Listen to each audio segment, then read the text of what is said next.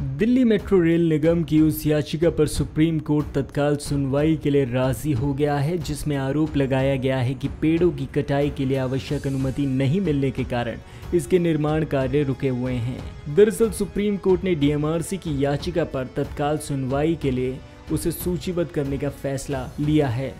आपको बताएँ कि ये बोला गया है कि परियोजनाएँ रुकने के कारण करीब तीन हज़ार कर्मचारी खाली बैठे हैं।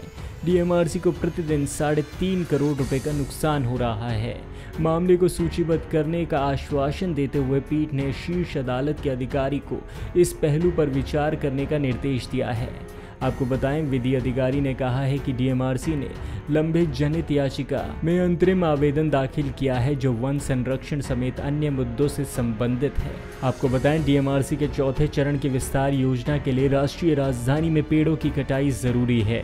डीएमआरसी ने जनकपुरी से आर के आश्रम, मौजपुर से मजलिस पार्क और एरो सिटी से तुगलकाबाद कॉरिडोर के विस्तार कार्य के लिए दस हज़ार से अधिक पेड़ों की पहचान की है। उन्हें काटने के लिए आवश्यक अनुमति नहीं मिल पाई है।